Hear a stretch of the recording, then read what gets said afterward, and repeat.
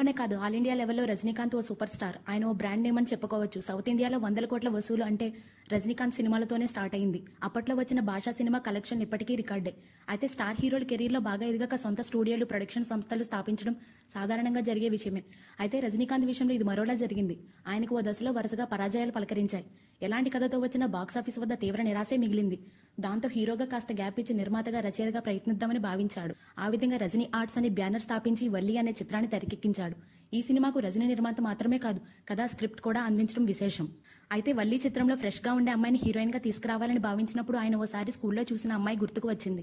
తన కూతురు చదివే స్కూల్లోనే చదువుతున్న ప్రియారామన్ అనే అమ్మాయి ఈ సినిమాలో బ్రహ్మాండంగా వర్కౌట్ అవుతుందని భావించి ఆమె తల్లిదండ్రులను ఒప్పించాడు. అప్పటికీ ఆమె ఇంకా ఎనిమిదో తరగతి చదువుతోందట. ఆ విధంగా ప్రియారామన్ వల్లి చిత్రంతో పరిచయం అయింది ఆ సినిమా సంచలన విజయం సాధించడంతో ప్రియారామన్ సౌత్ ఇండియా లెవెల్లో మంచి పేరు వచ్చింది. తెలుగులో మా ఊరి మహారాజు చిత్రంతో ఎంట్రీ ఇచ్చిన ప్రియ ఆ తర్వాత అన్ని దక్షిణాది భాషల్లో ఫుల్ బిజీ అయింది.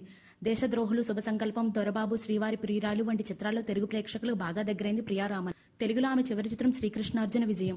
నందమూరి బాలకృష్ణ పౌరాణిక పాత్ర పోషించిన ఈ చిత్రంలో ప్రియరామన్ రుక్మిణిగా నటించింది. అయితే ఆ తర్వాత పూర్తిగా మలయాళ తమిళ చిత్రాలకే పరిచయం అయింది ఇక కెరీర్లో మంచి దశలో ఉన్నప్పుడే తమిళ క్యారెక్టర్ నటుడు రంజిత్ను పెళ్ళాడి లైఫ్లో స్థిరపడింది. ఆమెకి ఇద్దరు పిల్లలు ఉన్నారు. పెళ్ళైన తర్వాత ప్రియారామన్ టీవీ సీరియళ్ళతో బిజీ అయింది. అంతేకాదు సొంతంగా టెలి ప్రొడక్షన్స్ హౌస్ స్థాపించి కొన్ని సీరియల్ కూడా నిర్మిస్తోంది. అయితే కాపురంలో గొడవలు రావడంతో రెండు వేల పద్నాలుగులోనే భర్త నుంచి విడిపోయి తన కొడుకులిద్దరితో కలిసి జీవిస్తోంది ప్రియారామన్ రంజిత్ మాత్రం రాగసుధా అనే మరో నటిని రెండో పెళ్ళి చేసుకున్నాడు.